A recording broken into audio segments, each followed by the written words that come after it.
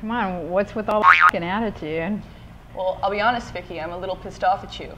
You know, you know how What did badly, I do? You know how badly I wanted to go to one of the three slash shows, either the Troubadour, the Whisky, or the Oh, like I control that.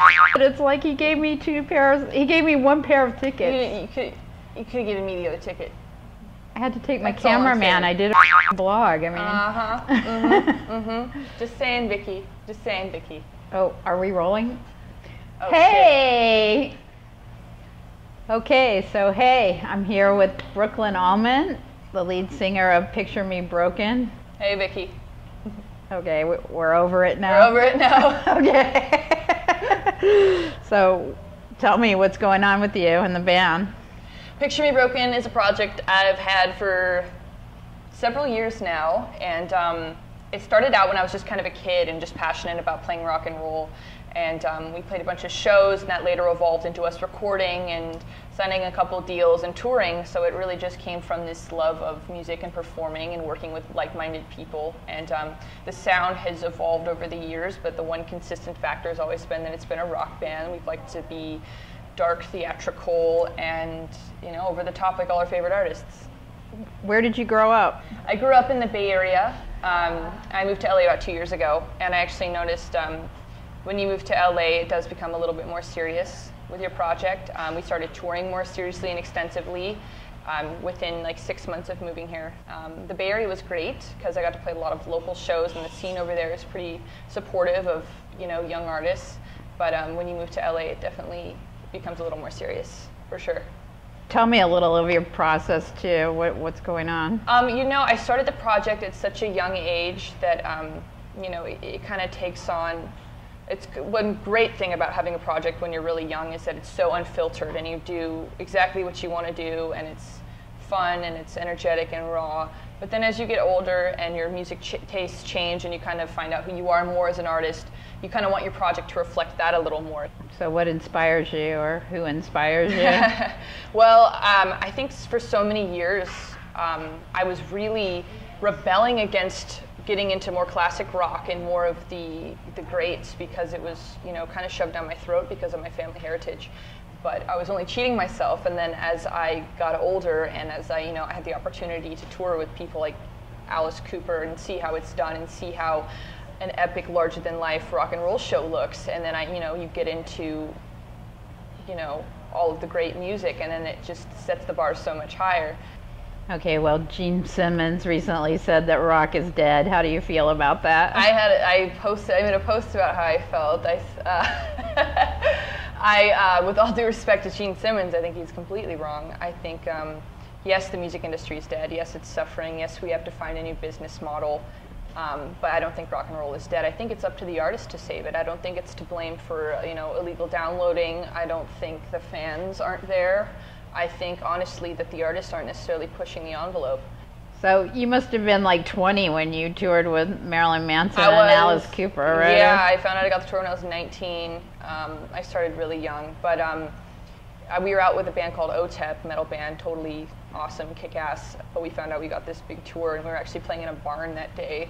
it was like, so it was so funny because we just got the news, and it was kind of one of the shows on the tour where you're like, yeah. I might want to go home right now, but um, it was such fantastic news, and we love playing so much that um, oh, there's no better crash course than watching two legends every night. Gregg Allman is your father. How was it growing up? I didn't grow up with my dad. Um, I would see him a few times a year, maybe. Um, we didn't become super close until more recently. We kind of relate on a musical level, and he's one of my best friends. And um, yeah, the, the older I got and the more I got into music, we were able to relate on that level quite a bit. I mean, I'll be singing with him pretty soon here. I have sung with him before, and it was an absolute pleasure. And um, he has some good advice, but he's very make it on your own, you know, pave your own way. And it's not like a lot of people will assume, oh, you have an easy ride because of who your dad is. Um, it's definitely not the case. You almost I have think to it's work, harder. You have to work twice as hard because people expect so much more from you. They expect you have everything handed to you. Um, so, you know, you got to kind of prove yourself a little bit more. So, what's next for you? And Definitely a, uh, a record. I mean, we want to keep on the road, obviously. Uh, we kind of took some time off to regroup. Uh, we had some lineup changes. and we wanted to really finish writing that record. We did finish it once, and we ended up scrapping it for a number of reasons. And this time around, we really want to capture what we've been trying to, to go for, and uh, we've just been writing, writing, writing. You're playing a couple of shows though coming yeah, up. right? Yeah, we are playing a couple of shows coming up. I'm really excited because we haven't played full shows in quite some time. We'll be playing October 4th the Chain Reaction with The Killing Lights and October 18th at Bar Sinister, first LA headliner actually. So how do we find you on the web? We are on facebook.com slash picture me broken band, youtube.com slash picture me broken, twitter.com slash picture me broken. And I should use the Instagram more, but dot .com slash or at picture me broken band. I'm bad about that. So do you have any advice that you want to give upcoming rockers or you know, Yeah, industry um, people in general? I mean, I think that the best advice right now for all the artists trying to make a mark in rock music is to be over the top, completely go for it. You know, you've got nothing to lose because it's such a crazy industry. It's every man for himself right now because of the way, you know, the internet is. So go forth with your vision and Conquer. kill everybody. yeah. Okay, so now we're going to look at a clip of Picture Me Broken. This one's called, Mannequins. and here's the mm-hmm. clip.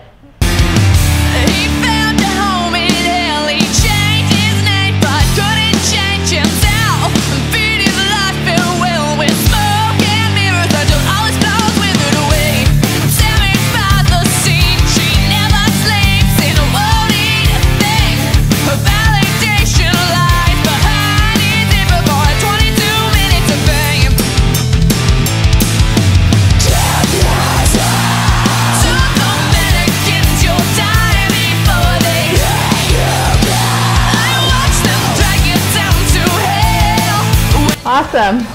Well, this is Vicky Hamilton for Aesthetic V Blog with Brooklyn Allman, and we are signing off.